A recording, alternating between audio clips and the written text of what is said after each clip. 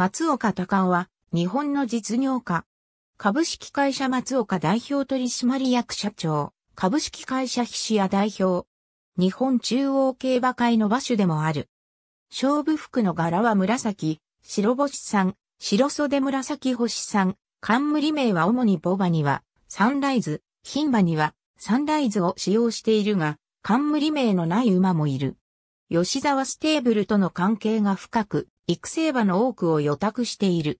2003年、春頃に個人名義で馬主となる。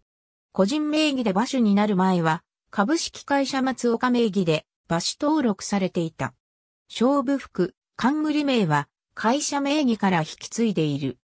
2007年、フェブラリーステークスをサンライズバッカスが制し GI 初勝利を挙げる。サマースプリントシリーズでサンアリューが23ポイントを獲得して優勝し、4000万円の報奨金を贈呈された。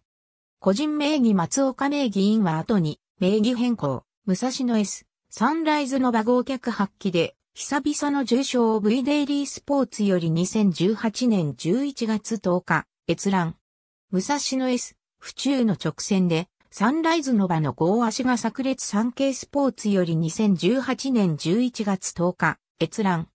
ありがとうございます。